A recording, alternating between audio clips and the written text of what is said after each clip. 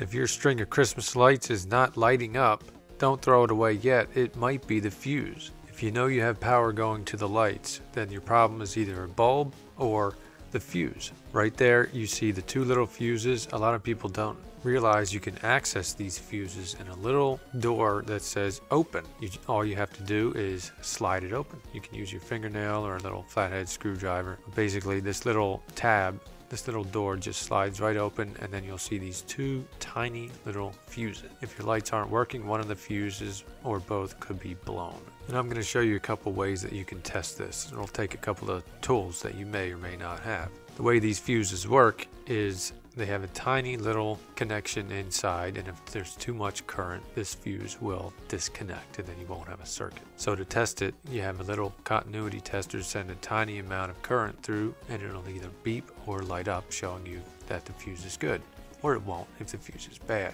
This right here is a continuity tester. You can put the fuse in the one clip and then test it on the other lead. This is a tool that you may not have or you may have a multimeter, which is something that I highly recommend that any homeowner or DIYer get because it has several functions which I can show you as a bonus in the end of this video.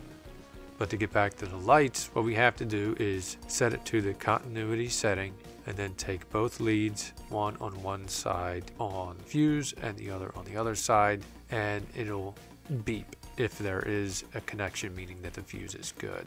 So mm-hmm. this symbol right here might be hard to see. It sound it looks like a little three lines, three or four lines, like a sound symbol. You'll set the multimeter to that. It's kind of hard to do on video here, but it'll be easy enough to put the leads on either side of the fuse. So in my case, I tested both fuses and unfortunately, both of the fuses were good, meaning that my lights have another problem, probably a bulb out somewhere. The good thing is that they usually will give you a pack of extra light bulbs and you can see here they actually will include spare fuses. So if your fuse is blown, you can test these spare fuses the same way I tested the other one. And then you simply replace the bad fuses with the good fuses and then hopefully your lights will light up. In my case they didn't, but at least I have my little Christmas tree to light up my holiday spirit. There's a few things you can use a multimeter for around the house that would be useful. You have the continuity setting there to test fuses including auto fuse. So if you have a problem with an auto fuse, you can test it the same way you'll test this little Christmas tree light fuse by putting leads on both sides of the fuse. If you get a beep or a light, then the fuse is good.